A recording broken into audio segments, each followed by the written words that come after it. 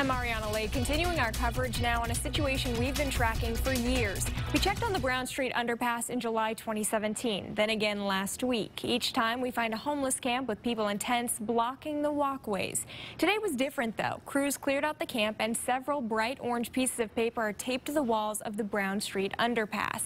This isn't the first time the city's cleaned it up. They say they do it once every week. However, this is the first time we've seen a notice to remove property. The underpass has been a problem area in the city for years, and it's only gotten more dangerous. Downtown Spokane Partnership, one of the agencies cleaning it up every week, says they can only clean once a week because they won't go into the area without police. The organization says they've dealt with people not cooperating. They've also seen drug use and violence in that underpass. According to the notice, people in the underpass have until Sunday at 10:10 in the morning to remove all their belongings. If they don't, the city will consider it abandoned and get rid of it. Reporting in studio, I'm Ariana Lake. KXLY4 News.